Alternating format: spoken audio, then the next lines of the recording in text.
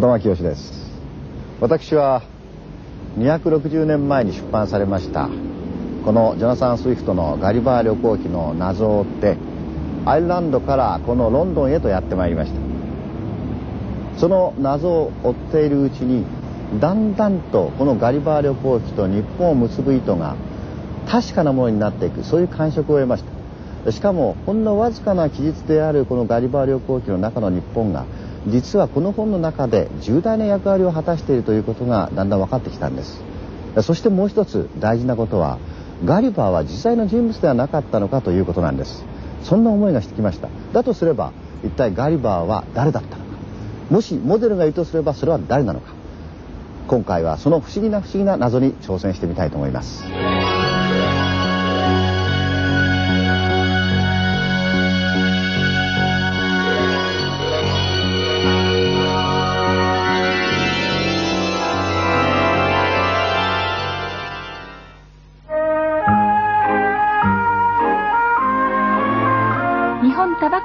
株式会社がお送りします。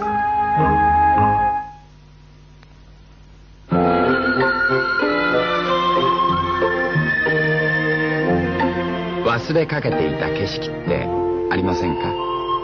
子供の頃にほらどこにでもあったような。気分よくくつろいでいるとふっとそんな景色に帰っていける。大切にしたいですね。そんな時間。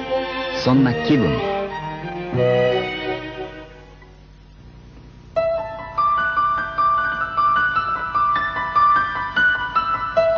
さて私は架空の国ばかりを旅するガリバーの物語の中でなぜ日本だけが実名で登場するのかこの謎を追って旅に出ました。まず私はスイフトの生まれた国アイルランドのダブリンへ旅の第一歩を踏み出したのですがスイフトがなぜ17世紀の日本を登場させたのかという疑問はますます深まるばかりでした。そもそも生い立ちからガリバー旅行記は全く内容の違った2冊の本としてロンドンとダブリンで出版されたことを聞かされました。謎を追って私は霧深きロンドンへと向かいました。ガリバー旅行記はたくさんの不思議な名前が登場する物語です。私はサセックス大学のロス教授にガリバー旅行記にはスイフトが様々な暗号を隠していることを教えられました。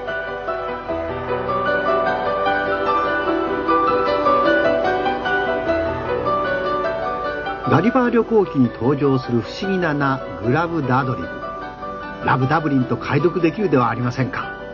こうした字の謎を解読するとガリバー旅行記も全く別な物語として読むことができるということです。そして私は再びガリバー旅行記に登場する日本の謎を追って大英博物館へ。ここで17世紀の日本のことが詳しく書かれたケンペルの日本誌という本に出会います。そしてスイフトがこの本によって日本の情報を得ていたことを確信しました。一見簡単に見えた謎解きも新たな謎にぶつかりました。ケンペルの日本誌が出版されたのはガリバー旅行記の初版のなんと1年後のことだったのです。その謎を解く鍵はスウィフト学者のウォーリー氏によって得られまた驚くべきことにラピュータの知識製造機に使われている不思議な文字はなんとケンペルの日本史の中にある仮名表から取ったものだということまで知らされました。ガリバーには実在するモデルがいたに違いない。突拍子もない思いにとらわれてガリバーの住んでいたというレドリックを探し始めましたそしてついにそのレドリックを探し出したのです。どうだ？ほら来た。見てくださいよ。レドリックロード。勢いに乗ってさらにこの地区出身の船乗りにモデルがいたに違いないという推理のもとに私はある一つの有力な手がかりをつかむことになったのです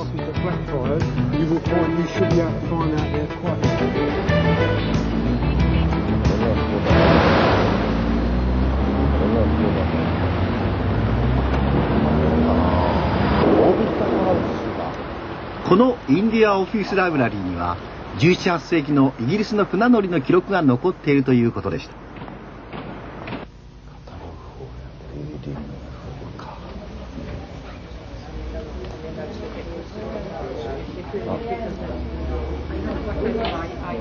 Excuse me, can I help me?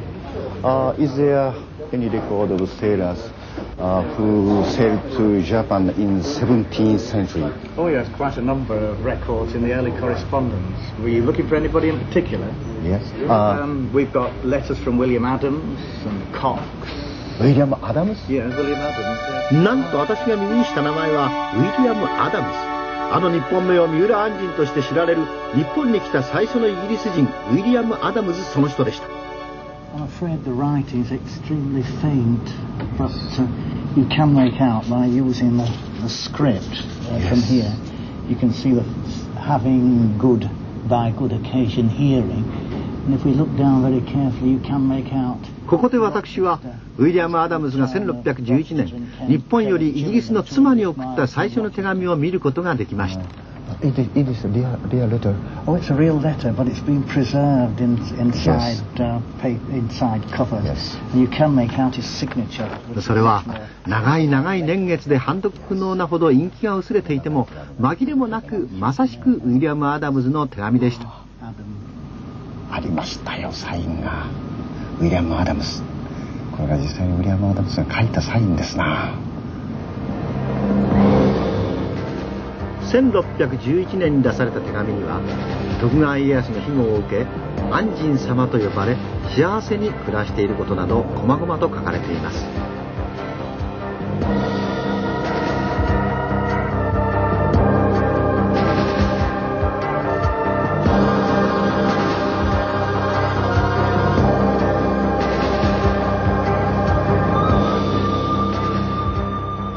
ダムスの手紙によると5隻の東インド会社の商船はオランダのフーデレーデ港を1598年6月27日北東の風で出版。途中3度の嵐の中で4隻を失いアダムスの乗ったリーフデ号は1600年豊後現在の大分県臼杵市黒島に漂着したのです。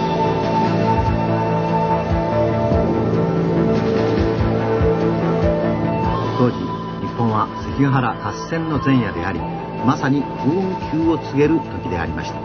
アダムズは家康の信任を得て以後家康のために西洋航海術造船術を教授外交顧問役として300国の直参となり三浦安人を名乗り日本に帰化したのです。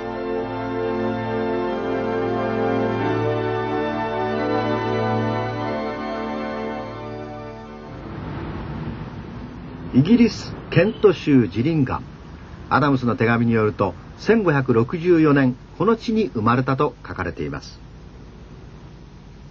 ウィリアム・アダムズというのは一体どんな人だったんでしょうか。私はこの彼が生まれた地ジリンガムやってまいりました。実はこの教会は彼がえ1564年の9月の24日に洗礼を受けたという記録のある教会でございます。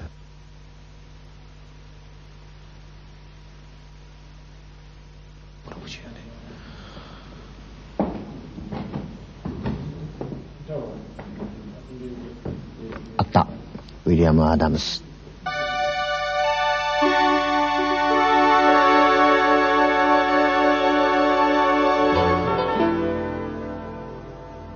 アダムズはメドウェー川に沿ったジリンガムで12歳まで暮らしロンドンのライムハウスで船大工に徒弟奉公をしたと手紙には書かれています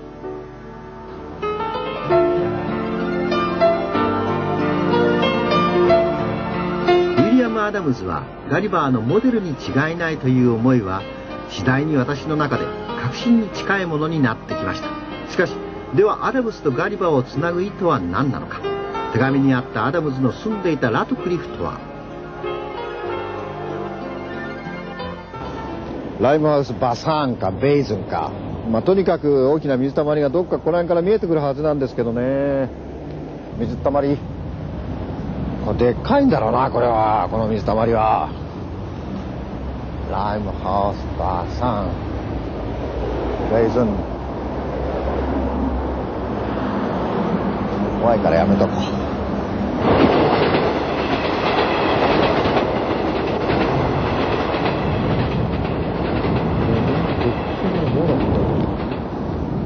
待てよ。ああれが？あれがライブハウスバサンかな？宮の水たまりが。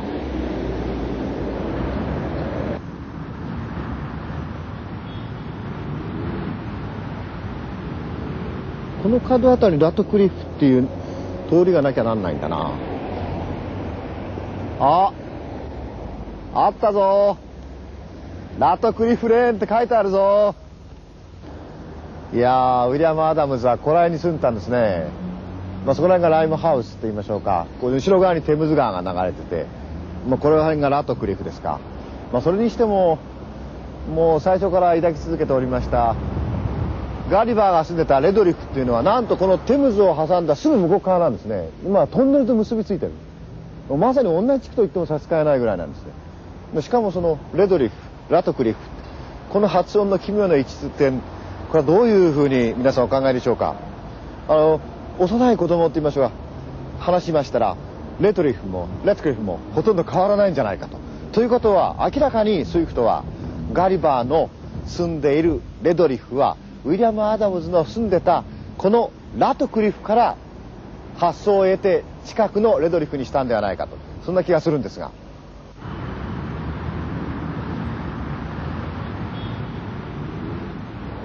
どうですか？ご覧ください。スイフトモータースとラトクリフというのが同じ壁に一緒にありますよ。ラトクリフっていうのはウィリアム・アダムズが住んだところでしょ？スイフトはご存知のようにガリバーの作家。ということはガリバーとウィリアム・アダムズはここでも一緒になってる。これは奇妙な位置ですね。なんとここにはザ・ディーン・スイフトっていうのがあるんですよね。セントパトリック教会の dean をしてたんですねスイフトは。やはりガリバーとこれ深い関わりがあると考えていいのかな。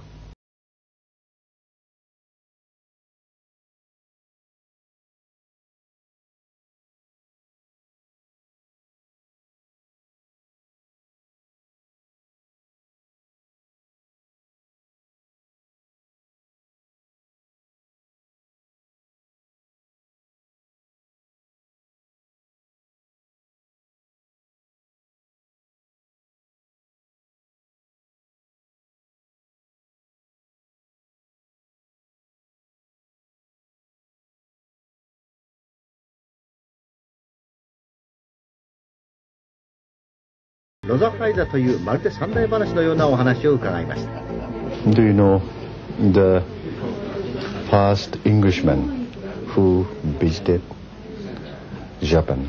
Yeah, Adams. Oh, you, Yeah. do you know? First samurai. Yes. First, Why? First foreign samurai. Ah, so. And do you know uh, Gulliver's Travels Mm. stories? Uh, the interesting thing about Gulliver was that um, in the book, Mhm. when Gulliver dies, Mhm. he ends, well, when- not when he dies, when he finishes, he comes to Rotherhithe. He finishes here. Yes.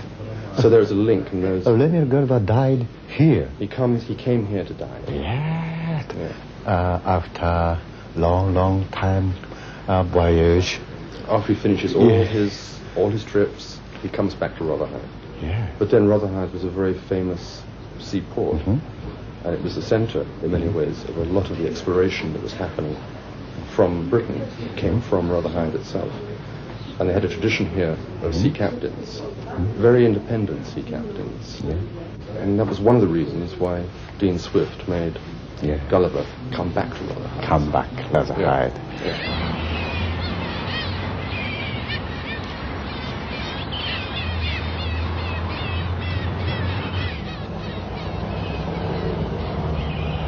ガリバーのモデルはウィリアム・アダムズだったに違いないという確信がだんだんと私の中で色濃くなってまいりました。しかしだとすれば一体ジョナサン・スイフトは作者のジョナサン・スイフトはどのようにしてウィリアム・アダムズのことを知ったんでしょうか。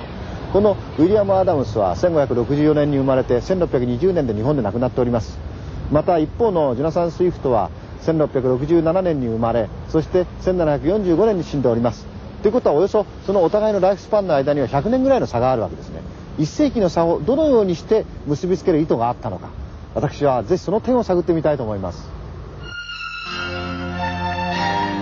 その謎を解く鍵は何なのか。私はふっとダブリンで訪れたマーシュズ・ライブラリーのことを思い出したのです。スイフト自身が選び揃えスイフトの個人コレクションともいえるあの蔵書のことです。スイフトはウィリアム・アダムズを知っていたのでしょうか？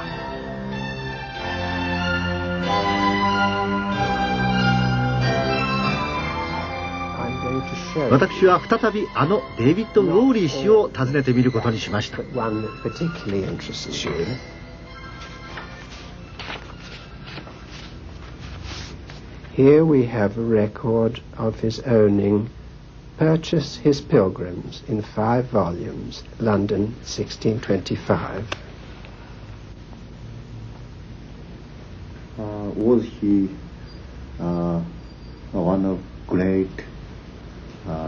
ウォーリー氏は一冊のスイフトの蔵書目録を紹介しその中で特に興味深いパーチェスの巡礼と言われる本があることを教えてくれたのです。And that also was a great Elizabethan collection of uh, travels. 私はまた再び大英博物館を調べ直すことにしました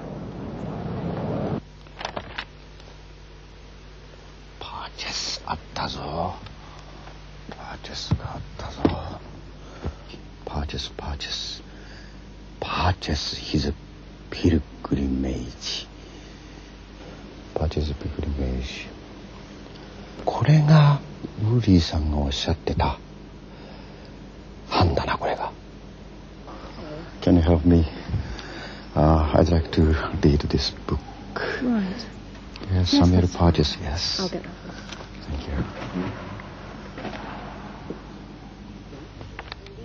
パーチェスの巡礼とは17世紀サミュエル・パーチェスによって収集された海外の冒険団を5巻にまとめたものでした。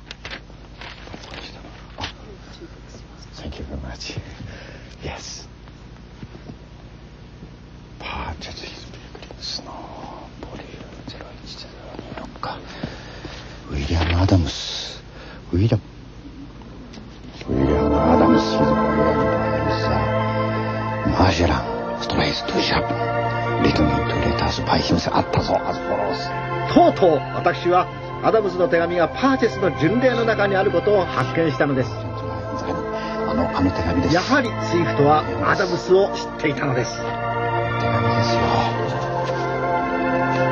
ウィリアム・アダムズさあここで完全にジョナサン・スウィフトがこのウィリアム・アダムスの手紙を読んだという証明ができましたね。完全にスイフトとアダムスは一つの糸で結ばれました。やっぱりスイフトはアダムスを知っていたんですね。アダムスの遭難と漂流という実際の体験談をスイフト自身が本で読んでいったことを知ったことによってガリバーの小人国への執着が急に一つの現実味を持った画像となって日本と共に浮かび上がってくるではありませんか。ここからガリバーも三浦安人ことウィリアム・アダムズも船出をしてったんですね。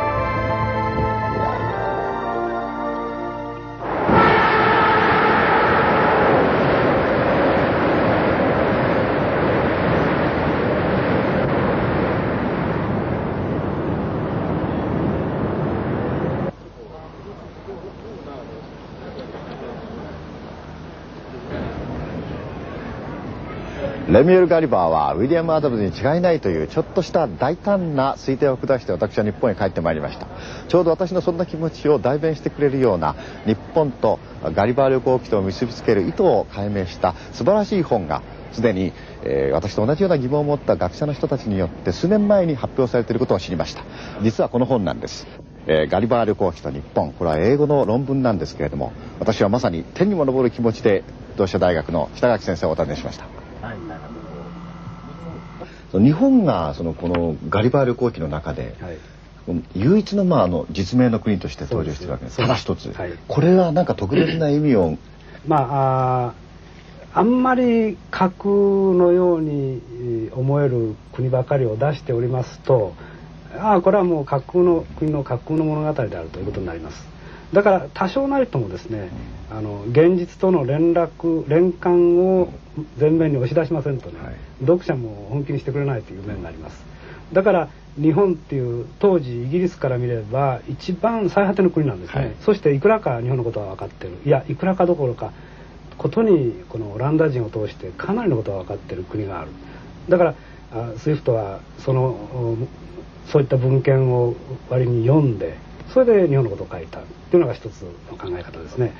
その先生のこのご本を拝見してますともう小人の国ですらいわゆるこのウィリアム・アダムズからの手紙からのえー、なんていうんですか、はい、えー、借用ですか、はい、それが多いっていうふうにこちらの方に書いてあるんです。よ、はい、そのウィリアム・アダムスとのその関連みたいなものについて、はい、あのお話を伺いたいんです、あのまあウィリアム・アダムズは日本へやってきた最初のイギリス人であるわけでしてその故郷のイギリスに何通かの手紙を書き送っておりますね。はい、でそれが収録された形であの、まあ、いろんな人の旅行記が収録された形で出ておってそれをまあスイフトが読んだということになります。はい、えー、ウィリアム・アダムズすなわち三浦安人は、はい、あやっぱり日本人よりはあ背も高かったというふうに思われますしね、はい、やっぱりそういう高い人が比較的低い日本人と接触しているうちに何らかのそういう、えー、優越感のようなものもその言葉の端くれに出てきたんじゃないかという感じがしております。はい。はい。はい、あのガリバーが三浦安人であると、ウィリアム・アダムズであるという、えー、ことのそのイコールみたいなものはかなりこうきつく結べるというふうにお感じでしょうか、はい、あのかかなり結べるんですが16世紀の末から17世紀にかけてやってきた西洋人たち日本を経験した西洋人たちのあのコンポジットイメージという言葉を使ってるんですね、はい、つまりそういう人々のイメージをあの集大成したものだとい。うのがより正しいだろうと、はい、コンポジットイメージです、はい、つまりあの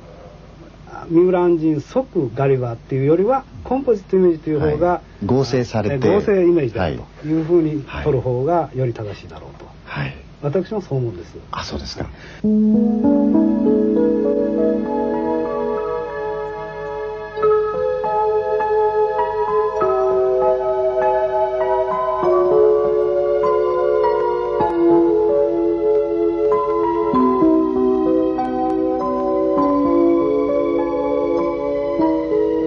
思えば長い旅でした。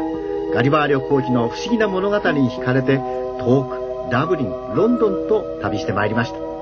ガリバー旅行記という世界的な文学もあるいは一人の船乗りの波乱に富んだ人生がなかったとしたら生まれなかったのかもしれませんね。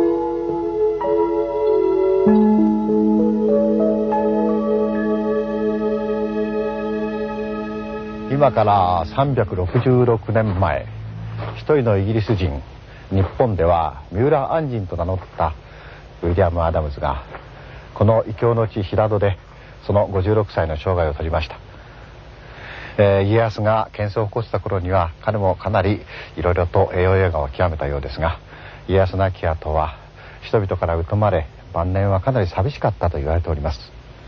一体彼はどのような思いでこの平戸の海を毎日眺めてたんでしょうか？